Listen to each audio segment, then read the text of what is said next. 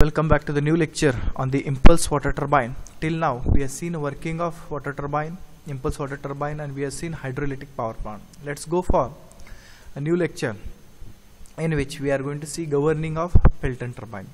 Now let's understand what is meant by governing of Pelton turbine. It is required that the Pelton turbine speed is to be a constant because a Pelton turbine is connected to the electric generator. The output shaft of Pelton turbine is connected to the electric generator.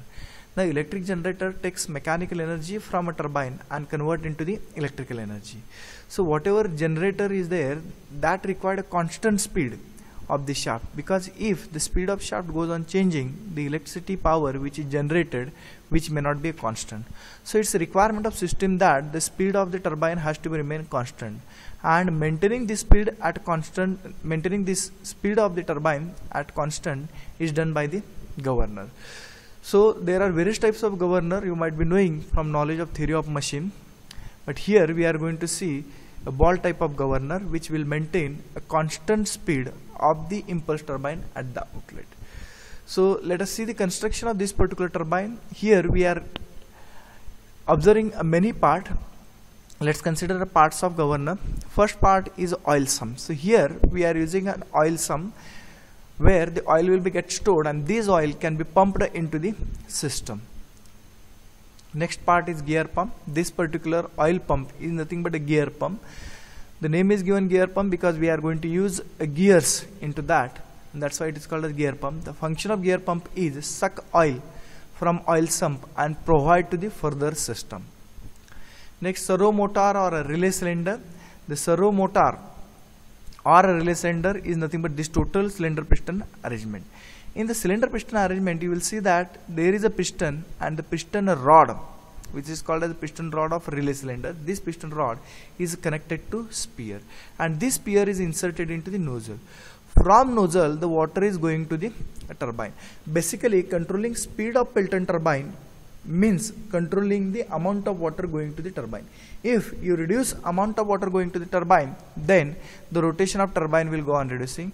If you increase amount of water going to the turbine, the turbine rotation will also goes on increasing. So if you control by anyhow the water going to the turbine, we can control the speed of the turbine. So here we are having a piston, the piston rod and the spear is there. This spear can move forward and backward along with this particular uh, piston and piston rod. Next is a control valve. This total assembly, this total assembly is called as a control valve or relay. Here what we are having, there are number of ports present on a control valve. So this is port number 1, 2, 3, 4, 5. In all total 5 ports are available and in that we are having a 2 piston which is connected to rod. Here the 3 port, this left side 3 port is connected to pipeline and that pipeline is going to the oil sump whereas the right side two ports they are going for this particular servo motor or relay cylinder one pipeline or one valve V2 is going to the left side that is called as A whereas another pipeline is going to the right side that is what called as B. So A and B there are two part left side part of the piston is called as A whereas right side part is called as B. So in all total five ports are there and these five ports are going connected to pipeline and various component. Here these two pistons connected to one common shaft and that common shaft is going to the lever. This is what a lever. This lever is supported by fulcrum. So here we are having a fulcrum point. Here we are having a fulcrum point like a pivot point and pivot point left side is the governor on the right side we are having the piston and cylinder arrangement. Next is centrifugal governor. This is a centrifugal governor you may knowing, you may you may have seen in the theory of machine, in which we are having the fly ball, in which we are having the fly ball. You are knowing the working of this. When we increase the rotation of this particular governor, the fly ball will move up, and as a fly ball will move up, it will take sleeve along with that. So sleeve will also move on upward side direction. Now this sleeve is connected to lever this sleeve is connected to lever so when the sleeve moves upward side direction this lever will also move on upward side direction. This centrifugal governor is connected to a turbine by using the shaft. So if turbine rotation goes on increases then centrifugal governor rotation also will go on increases. If turbine rotation goes on decreases the centrifugal governor also goes on decreases. So that this particular centrifugal governor is directly connected to turbine. And turbine rotation will be given to the governor. Next the spear rod. The spear rod is present over here. This is called a spear rod or a spear. You all we have already discussed this one. And the pipelines. Various pipelines are also there. So these are major component of the governor of Pelton. First is oil sump. So this is oil sump. We have seen. Next is a gear pump. This is a gear pump. We have seen next part. Then servo motor or a relay cylinder. This is servo motor or relay cylinder third part. Next is a control valve. This is a control valve which controls the uh, rotation of this particular turbine. Next is centrifugal governor. This is a centrifugal governor which is connected to turbine. Then spear rod or spear. This is spear rod or spear. And the pipeline various pipeline you can see. So likewise many components are present over here. And the aim of this total component is to maintain the speed of the turbine to be constant here we have to understood in detail how this particular control valve is connected to governor. The control valve is connected to governor by using this lever and lever is supported by the fulcrum as I told you.